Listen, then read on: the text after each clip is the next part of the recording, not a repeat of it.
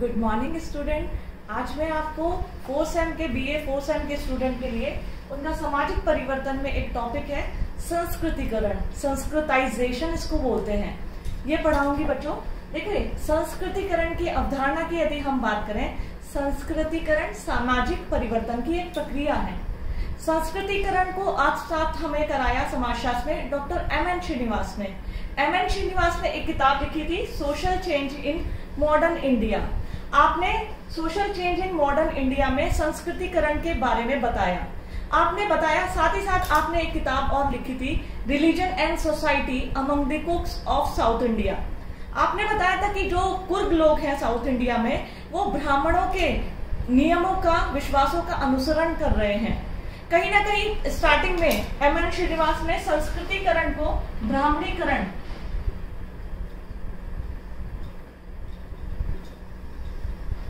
ब्राह्मणीकरण की प्रक्रिया बोला था। लेकिन जब उन्होंने देखा, सिर्फ़ लोग ब्राह्मण जाति को अनुसरण नहीं कर रहे हैं, बल्कि अनेक द्विज जातियों को, जिसमें क्षत्रिय, वैश्य, इनका अनुसरण कर रहे थे, तब इन्होंने ब्राह्मणीकरण के स्थान पर इसको संस्कृतिकरण की प्रक्रिया बताया।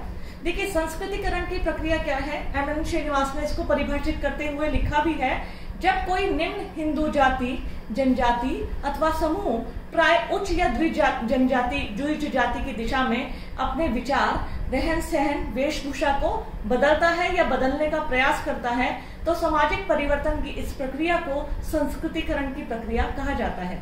देखिए, बहुत सी निम्न जाति के लोग होते हैं। उन्होंने अपना मांसाहारी भोजन त्याग दिया, शराब व्रति को त्याग दिया। वो उच्च ब्राह्मणों की तरह जनेऊ धारण करना, धार्मिक ग्रंथों का पाठ करना, उन्हीं की तरह शाकाहारी भोजन करना पूजा पाठ करना, माला फेरना, इस तरह कर लेने लगे। और वो उनके पीछे कारण था। वो इसको इसलिए कर रहे थे कि वह दिखाने का प्रयास कर रहे थे कि हम भी उच्च या द्विज जातियों से हैं। ऐसा माना जाता था दक्षिण भारत में छुआछूत या इस तरह की दुर्भावनाएँ बहुत ज़्यादा व्याप्त थी। जिस कारण लोगों ने ब्राह्मणों की तरह अनेक द्विज जातियाँ, देखिए, द्विज जो मैं बार बार शब्द रिपीट कर रही हूँ, ब्राह्मण, क्षत्रिय और वैश्य प्राचीन काल में जो हमारी वर्ण व्यवस्था थी, उसमें ब्राह्मण, क्षत्रिय और वैश्य, इन तीनों जातियों को मिलाकर द्विज बोला गया है। और कुर्ग लोगों के ने, अन्य लोगों ने जो निम्न जातियों के थे, उन द्विज जातियों की तरह, ब्राह्मणों की तरह रहना, इसी तरह पूजा पाठ करना, धार्मिक अनुष्ठान करना, शाकाहारी भोजन करना, इस तरह शुरुआत किया और ये दिखाया कि हम भी इन्हीं जातियों से हैं। और सामाजिक परिवर्तन की प्रक्रिया में, सामाजिक गतिशीलता में, उन्होंने सामाजिक संरचना में अपने स्थान को, अपने पद को ऊपर ऊपर करने का प्रयत्न किया।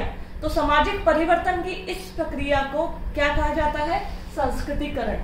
फिर से रिपीट कर रही हूँ। एम एन श्रीनिवास ने कहा था, जब कोई निम्न हिंदू, जाति, जनजाति अथवा समूह प्राय उच्च या द्विज जाति की दिशा में अपने कर्मकांड वेशभूषा विचारधारा को बदलता है या बदलने का प्रयत्न करता है तो सामाजिक परिवर्तन की इस प्रक्रिया को संस्कृतिकरण की अवधारणा कहा जाता है।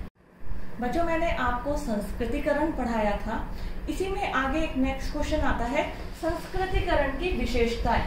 यानी मेन कैरेक्टरिस्टिक्स ऑफ़ संस्कृताइजेशन संस्कृतिकरण की विशेषताओं में अगर हम बात करें तो पहली विशेषता है संस्कृतिकरण का संबंध निम्न जातियों से है। देखिए, उसी प्रक्रिया को, सामाजिक परिवर्तन की, हम उसी प्रक्रिया को संस्कृतिकरण कहेंगे, जिसमें निम्न जातियाँ उच्च जातियों का अनुसरण करती हैं। बहुत सी जगह जब हमने देखा है, बहुत से लोग आरक्षण का लाभ उठाने के लिए अपने आप को निम्न जाति दर्शाते हैं तो उसको संस्कृतिकरण नहीं, विसंस्कृतिकरण या असंस्कृतिकरण की प्रक्रिया कहेंगे।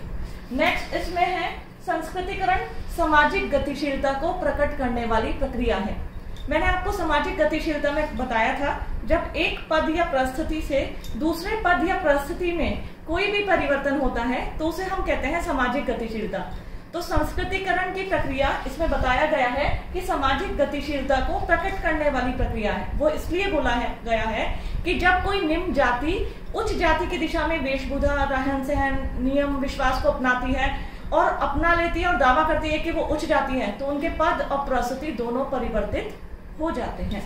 इसी प्रकार इसमें है, संस्कृतिकरण केवल हिंदू जातियों तक सीमित ही नहीं है। संस्कृतिकरण केवल अब हिंदू जाति तक सीमित नहीं है।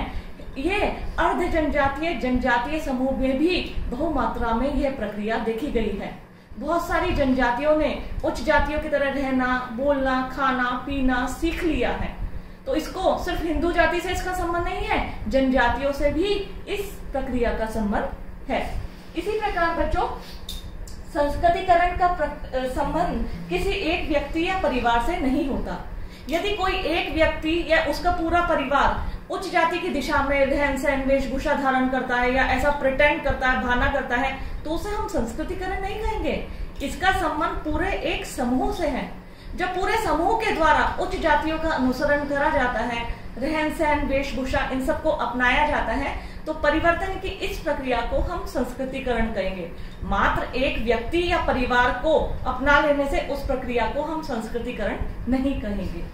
इसी प्रकार ये है, संस्कृतिकरण के कई आदर्श हो सकते हैं। संस्कृतिकरण के कई आदर्श कहा गया है, मात्र वेशभूषा पहन लेने से नहीं, कई बार उन्हीं की तरह धार्मिक ग्रंथों का पाठ करना, जनेऊ धारण करना, माला को जपना, इसी प्रकार खान पान में मांसाहारी भोजन को त्यागना एक आदर्श नहीं है, कई आदर्श हो सकते हैं। नेक्स्ट है इसमें, संस्कृतिकरण एक सार्वभौमिक प्रक्रिया है। शो में जब एम एन श्रीनिवास ने दक्षिण भारत में इस प्रक्रिया का अध्ययन किया था तो उन्होंने सोचा था कि यह सब दक्षिण भारत में है। लेकिन जब इस प्रक्रिया का प्रसार प्रचार हुआ, तब पता चला ये पूरे भारत में इस प्रक्रिया का प्रचलन है। मात्र दक्षिण भारत तक सीमित नहीं थी। जब ये धीरे धीरे निकल कर आई तो उत्तर भारत, मध्य भारत, सभी जगह इस प्रक्रिया को देखा गया। इसलिए इसे एक सार्वभौमिक प्रक्रिया भी बोला जाता है। नेक्स्ट इसमें है, योगेंद्र सिंह ने इसे अग्रिम समाजीकरण। डॉक्टर योगेंद्र सिंह थे। उन्होंने समाजशास्त्र के बहुत विद्वजन है वो। आपने संस्कृतिकरण को अग्रिम समाजीकरण भी कहा है।